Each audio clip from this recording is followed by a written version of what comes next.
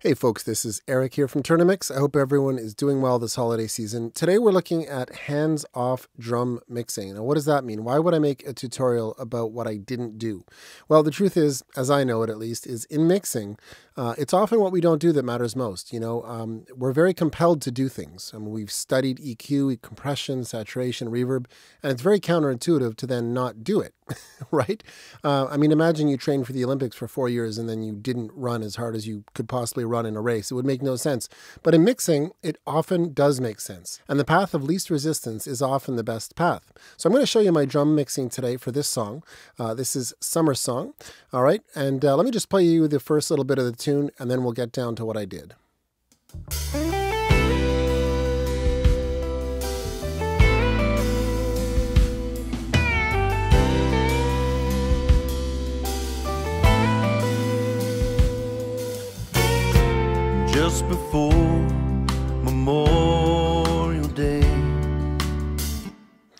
Right, and let's move along to the chorus just so you can hear like more of the full kit. Getting away when the workday is all done. Sure sounds good the beat is strong. Puts me in the mood, why don't you come Right, so there we have it. That was my final mix of this song, and um, as you can hear, the drums are fairly background, and that's how I thought they, you know, they should be. I, I didn't really hear this as a big slam and drum sound. It's kind of like a Steely Dan, you know, old school kind of song uh, to my ear with a bit of country mixed in, and I just thought it needed a nice chill drum sound, so I did very, very little to the tracks. Let's take a look. All right, so here's the raw drums, and I'm just going to show you the power of phase correction to begin with. Here's the completely raw drums, and on the top shelf here, I'm going to turn back on these gain plugins. All right, so if, if you see these plugins, it means the polarity was inverted. Here we go. Here's the raw kit.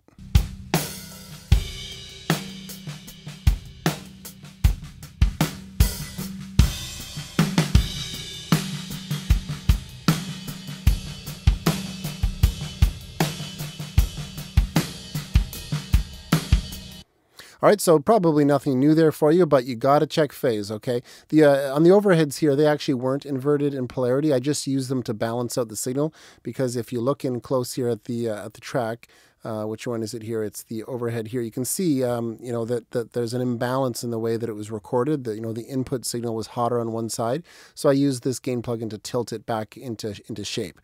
All right, so that's phase, um, which made a big big difference. Next up, um, let me just play you the kit completely mixed here. So here's with all the uh, plugins back on and the reverbs. Whoops, missed this one.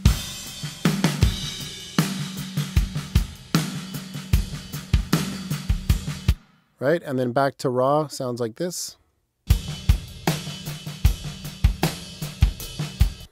So you can hear it, it is actually a pretty different sound. I mean, it, it came a long way there, but my processing is actually very minimal. Let's check it out. All right, so first up's the overheads, and all I did on these overheads is add Omega A to them. This is a saturation plugin from Kush that I love, and you'll hear here it's pretty subtle. Here's the raw track. And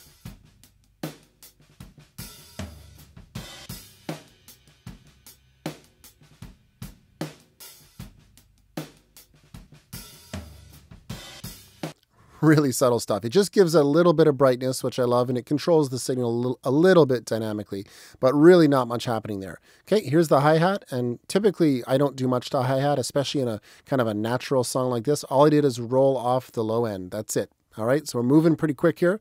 Um, let's go over to the kick for a second. All right, let me show you what I did here. All right, so three plugins. Here's the raw kick. And here's mixed.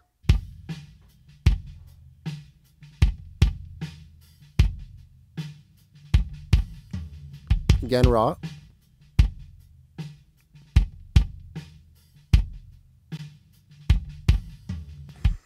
And again, you can hear it's very subtle. I mean, it's hardly doing anything. I just cleaned it up a little bit with EQ. I added some saturation and compression to kind of, you know, control the signal a bit. But I, I really didn't do much. It, it sounds almost the same processed compared to raw. Let's take a look at the snare. So for the snare, it was just two uh, plugins, some saturation here. This is again the Omega A and some compression and no EQ. Okay, like let's hear it raw.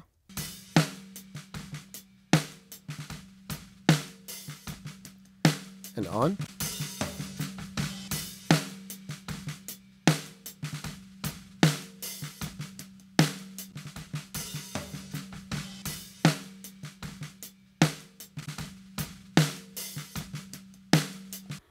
You know, again, a little brighter and, uh, you know, a little more energy with the compression, but, uh, you know, no EQ, nothing fancy, very, very subtle stuff. All right, for the toms, all I did, I'm just going to show you one of the tom tracks because it was the same thing. All I did is gate it with the Oxford drum gate, and I, I didn't actually uh, gate them hard. I just pulled down the gain by 12 dB, okay? So I re reduced the bleed by 12 dB, and then I added a very, very simple EQ, just accentuating the fundamental of the tom a bit here and rolling off some lows, and that's it. That's what I did for all the toms. And then I routed the three toms, okay, whoops, these three here, to my tom sub. And on the tom sub, I added again omega A. So I use a lot of saturation on this drum kit instead of compression. So omega A is going to sort of control the peaks and brighten it a bit. And then I added some revival for some top end. All right, and that's all I did in the toms. Now I think we've gone, so I'm going to turn these guys back on too. Okay. All right. And um, that is it, other than, well, the stick hits here, um, the, these were actually part of the snare track, but I split them off and created a separate track. And on the, the stick hits, all I did was compress. That's it, literally. Let's take a look at the drum bus now. So let's hear the full kit, and I'm going to keep these off for a second. So here, here's the kit right now.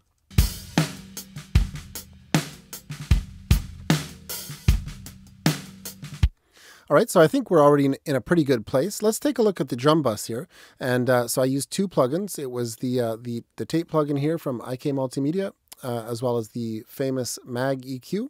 All right, so I've got tape on uh, 456, 15 IPS, and we've got a 5K high shelf here, just a couple notches. All right, so let me just turn that off here. I'll turn this off here. Sorry, turn it off now. And um, let's listen to the kit raw, and uh, let me then bring these in.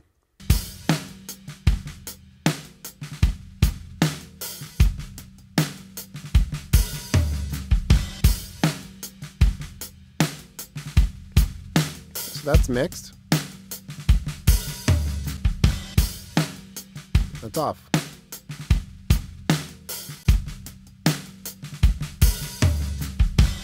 Yeah, I really like that. I mean, it, it's not like uh, it doesn't really change the the sound or the the vibe of the drum kit, but it just gives it that extra sparkle and clarity. All right, and you'll notice I didn't even do drum bus compression. I have no parallel compression, which I'm not exaggerating. That might be the first time in four years that I haven't mixed with parallel compression on drums you know, it's possible that that would have worked, you know, maybe some subtle compression in parallel, but I didn't even feel like I needed it in context. All right, so we have gone through the entire drum kit. Um, I have only used two compressors on the entire kit. I didn't compress the overheads, hi-hats, didn't compress the toms, just compressed the snare and kick. The stick hits, you know, also, but again, it was kind of part of the same track as the snare, so I'm not going to count that one. Two compressors. That's the, the smallest amount of compressors I've ever used on a drum kit. All right, now let's turn on the reverbs and hear that, because this actually changes the sound quite a bit. Here's with the reverb.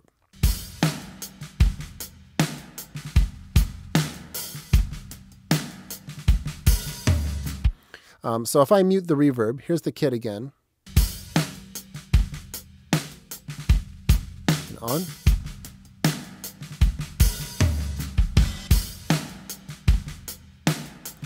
Right, so what's interesting about this is listen to the snare, how without the reverb, I'm going to turn it off again here. Without the reverb, the snare is, you know, it's there, but it's it's not really too uh, punchy. And it gets a lot punchier with the reverb. Here it is off.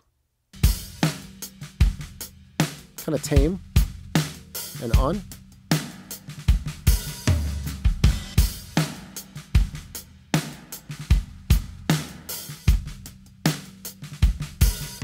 like that's insane, right? Now it sounds a little verby in solo here, but in the context of the song, you don't even really hear it uh, as being like nearly that reverberant. So that's kind of interesting though, how much that changed the snare. And um, to be honest, I, the, I added the reverb very very early on in my drum mix. And it actually uh, you know like before i added all these plugins i just was like you know what? I'm going to put this in in a sense of space. And it, it it it actually allowed me to add a lot less plugins. All right so there is the full drum mix. Um, very very uh, minimal and um, you know very very simple. And um, you know this isn't to say that you always have to do this. Obviously um, you know every song has its its own need like if this was metal we'd have to do a whole bunch more to it to make it pop but uh, don't be afraid to do um, to do hardly anything really. You don't always have to EQ, you don't always have to compress. Sometimes, you know, it's best just to leave things alone. So if we listen to the full song again real quick, let's just hear kind of the same section. Sure sounds good and the beat is strong. Puts me in the mood, why don't you come You know, to each their own, but I think that sounds really good. And most of that is just thanks to the great playing and great recording. But I like to think I helped a bit. So there we have it. That's the lesson for today. We'll talk soon.